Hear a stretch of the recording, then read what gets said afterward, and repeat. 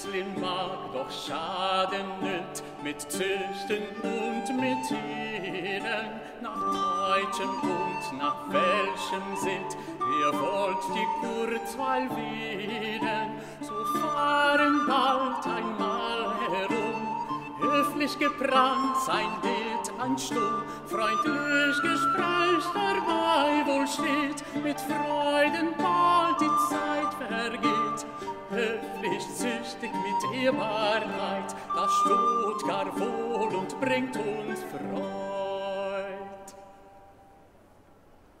Mein Begierd und Verlangen war es von Jugend auf in der Arznei zu studieren und Doktor zu werden.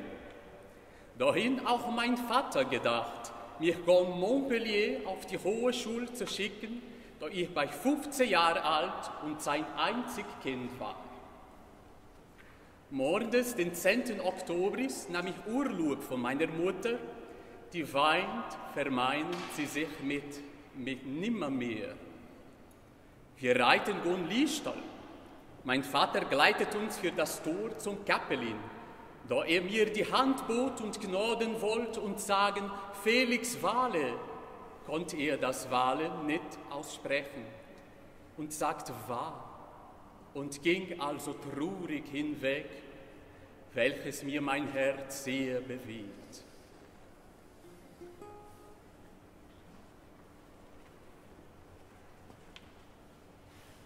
Traurig, traurig,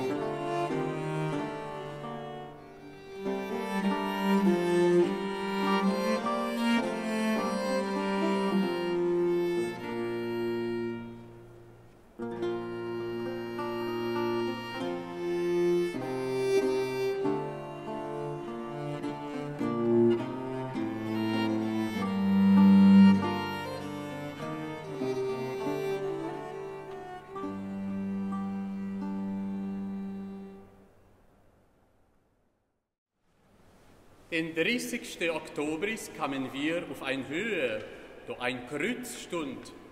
Da sah ich die Stadt Montpellier und das Hochmeer zum ersten. Also habe ich mit Gottes Hilfe und Beistand die Reise von Basel bis Gon Montpellier in 20 Tagen vollbracht. Als ich für des Herr Catalans Apothek kam, stünd er und seine Frau vor dem Laden. Da ich abstehend, redet Latin mit ihm und gab ihm die Brief von meinem Vater, darin aller Bescheid. Den 14. November schickte ich ein Kisten von Samen nach Basel. Ich schickte auch viel mehr Muscheln, item von schönen großen Granatöpfeln, etlich süß, etlich wenig sauer, dazu bei 63 schön Pomeranzen.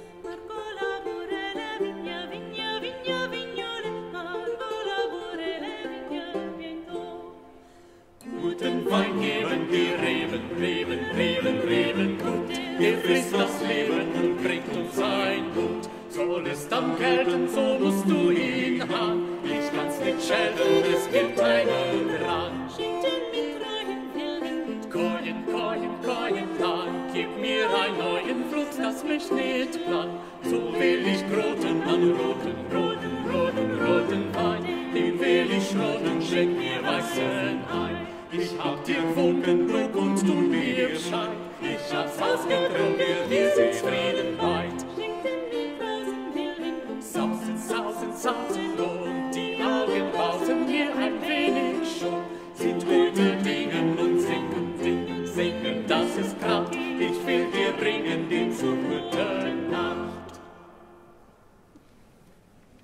hatte allzeit ein Trieb in mir, mich in allem, was ein Medico vonnöten, zu wissen.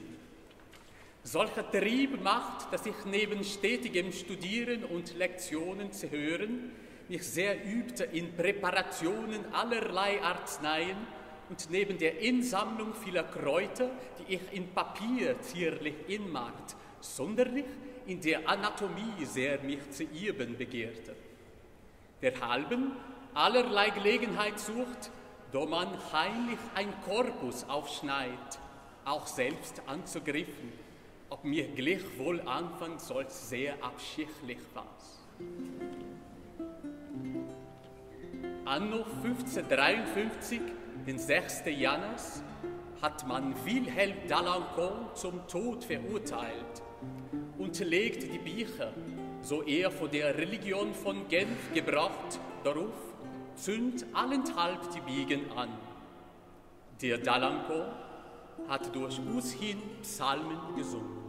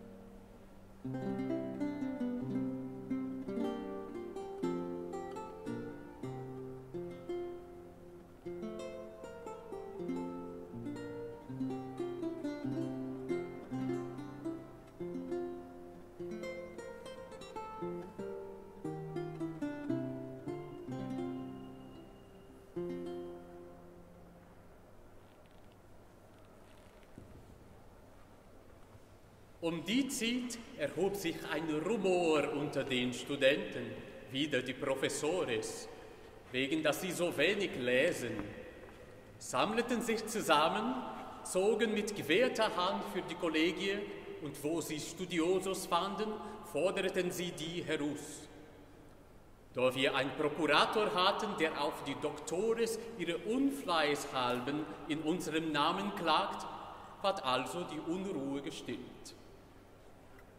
Im Anfang des neuen Jahres fachen glich an allerlei Kurzwill, sonderlich zur Nacht mit dem Hofieren mit Instrumenten vor den Hüseren, dahin die Damoisellen geführt werden. Und tanzt man nach dem Nachtessen wie nach lichteren Braune Gaillarde la Volte. Das wird schier bis gegen Tag und wird solch ballieren bis an der Farsnacht letzte Tag. Bonjour,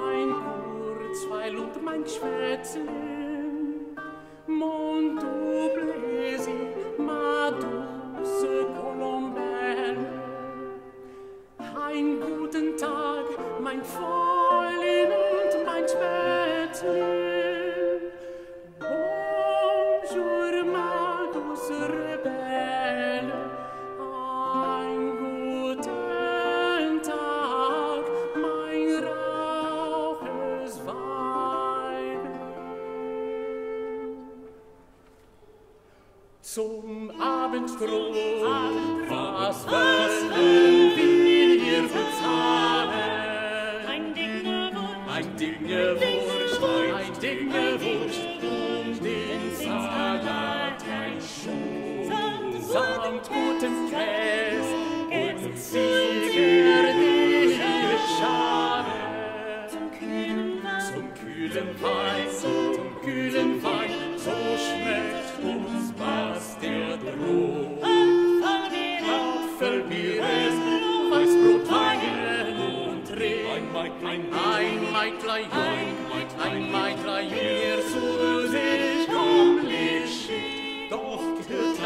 dass man vor alledem, doch gehört dazu, dass man vor alledem den Beutel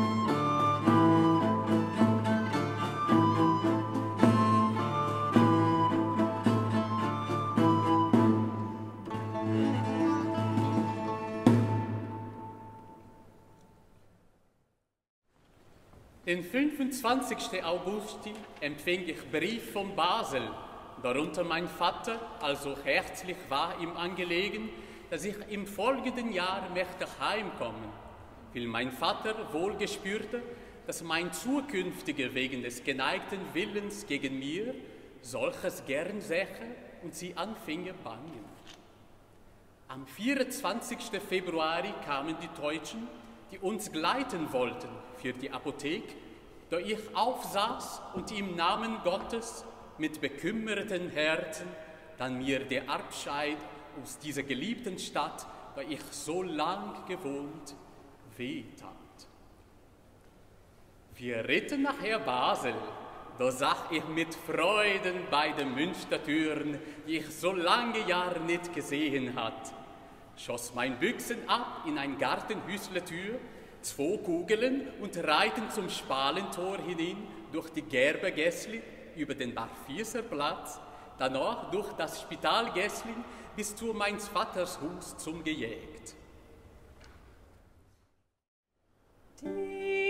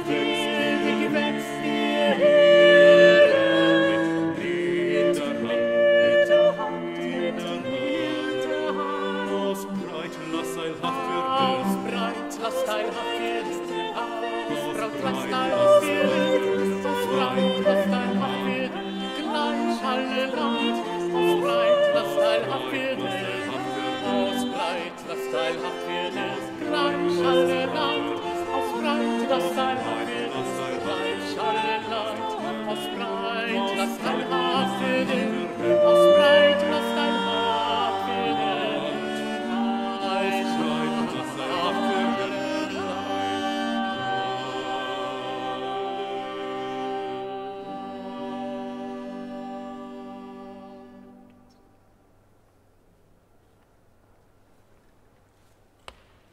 Mein Vater stellte hier zwischen die Sachen an, dass ich mit meiner zukünftigen reden könnte und sie mit mir. Lud der Halbenmeister Franzen und seine Tochter den zukünftigen Sonntag hinaus kon Gundeldingen. Ich zog nach dem Essen hinaus und als wir zu Gundeldingen in Hof hingingen, sahen wir Magdalena da selbst stehen, die ich freundlich grüßt, wie auch sie mich, nicht unverändert der Farben. Kamen also ins Gespräch, spazierten hin und wieder dem Gut mit vielerlei Red. Bald nachdem ich Doktor worden, drang mein Vater darauf, dass auch der Heirat zwischen mir und Jungfrau Madeleine beschlossen wurde. Am Sonntag, den 21. November, verkündet man uns im Münster wie brüchlich und ristet man die Tisch in meines Vaters beiden Häusern zu. Es Gott, der Wirt, zum Engel in der Spale Vorstadt. Auf den Oben zog ich in mein schwäches Hus, sagt zu, wie sie Maien machten. Man lacht uns auf die Hochzeit freut, da man ganz fröhlich ist. Ihr Mann zeugt an das Hochzeitskleid, ihr Frauen seid gerüst. Jungfrauen nehmt den Kranz, die freut wir sonst nicht ganz und sicht fürs Brautgamshaus. Man wird ihn führen draus. Er kommt, er führt euch jetzt, die Braut führt ihr Jungfräulein zart. Nun meid euch auf die Fahrt, aus einer silbernen Schalenplatz, da teilt die Maien aus. Dem Brautgam gebt ein Perlenkranz, den andern all ein Strauß. Der Glockner zeugt die Glocken und der Brautgam zeugt vom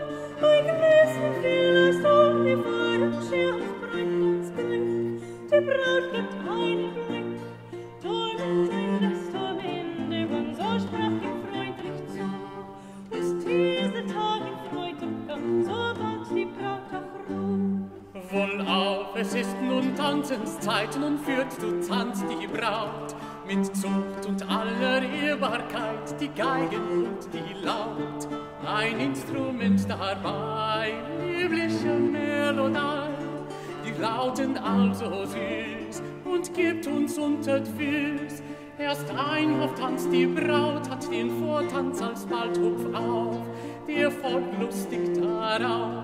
Und welcher das Welsch tanzen kann, der macht die Bossen gut. Das steht gar wohl dem Reihen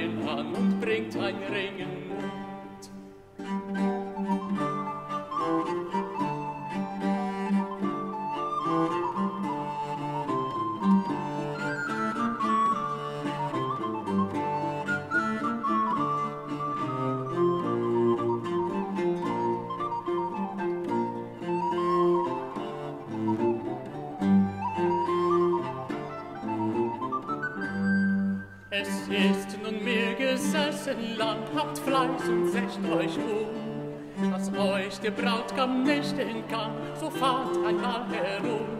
Die Braut ist schon verzuckt, Der Brautgam nach ihr ruckt, nun singend alle laut, der Brautgam und der Braut.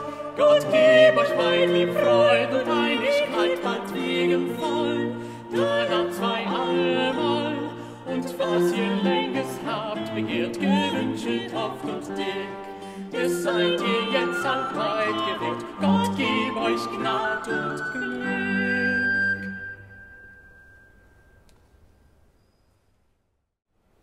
In der Nacht traumet mir, es fiele ein Kind vom Himmel. Ich hebe meinen langen Rock unter, empfinge es, dass er nicht zu Tod fiel. Darauf ich erschrackt und erwachet. Meine Frau sagt, es habe ihren auch von einem Kind traumet. Sie ging hinab, beschauet das Kind in der Wiegen. Es lehnte sich gegen ihren, sie musste mit ihm weinen. Wir erzählten unsere Träume, sagten sie, warum habt ihr nicht das Kind genommen? Ihr habt doch keine. Meine Frau sagt, es gulte mir gleich, wollt's gern auferziehen. Ego dixi, Madeleine, was du willst, mit viel Worten. Also habe ich es, als wann es mein Kind gewesen, auferzogen, lassen nähen, sticken und auf den Instrumenten schlagen. Von